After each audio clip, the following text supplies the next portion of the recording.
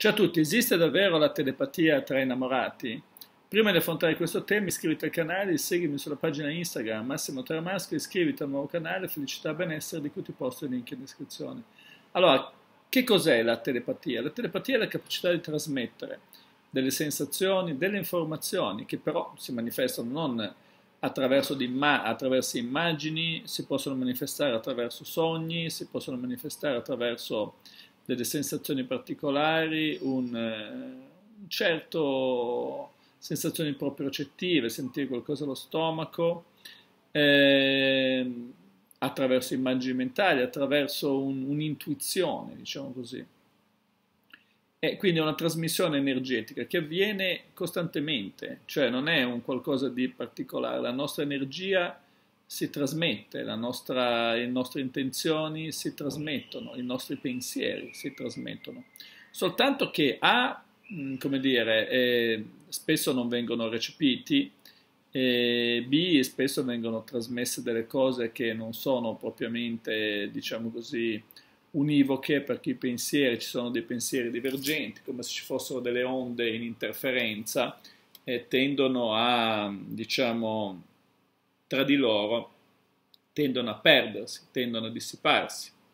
E, ehm, e questo è un dato di fatto comunque, che questo accada. E per evitare, diciamo così, che accadano cose di dispersioni, bisogna diventare, prestare più attenzione. Eh, quindi la telepatia è un qualcosa che esiste comunque. Immaginate una stanza dove c'è una persona che recita un mantra, il messaggio telepatico, ma in quella stessa stanza c'è chi fa casino, c'è una batteria che suona, musica a palla, eh, gente che urla e tutto, fin tanto che non zittisci tutto il resto, non sentirai mai la persona che recita il mantra.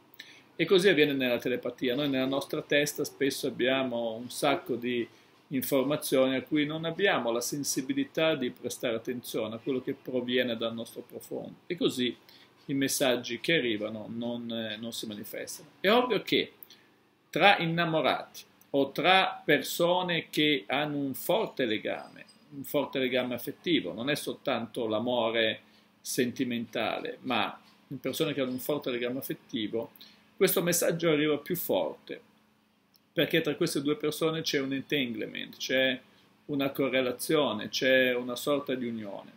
E questo cosa comporta? Beh, comporta un fatto interessante, comporta il fatto che praticamente eh, tu entri in uno stato eh, di maggiore recettività e il messaggio contemporaneamente arriva più forte. Quindi spesso tra persone che c'è questo forte entanglement si, si hanno delle percezioni si hanno delle percezioni e non tutti ce l'hanno, eh, ma più forte è il legame e più forte è l'entanglement, più questo diventa inevitabile.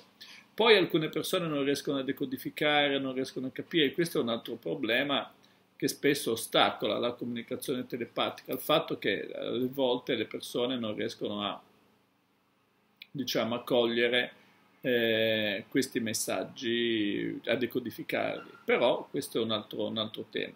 Però sicuramente eh, la telepatia tra persone che sono in contatto, diciamo così, eh, telepatico tra loro, in contatto emotivo, in entanglement, la, la, la comunicazione telepatica è molto più forte. È comunque una capacità dell'essere umano questa.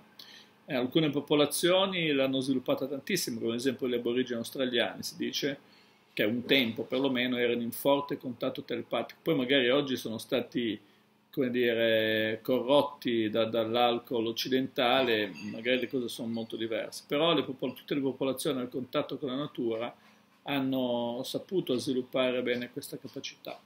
Bene, per questo video è tutto, seguimi sulla pagina Instagram Massimo Teramasco, iscriviti al canale e iscriviti al nuovo canale Felicità e Benessere di cui ti posto il link in descrizione. Ciao a tutti!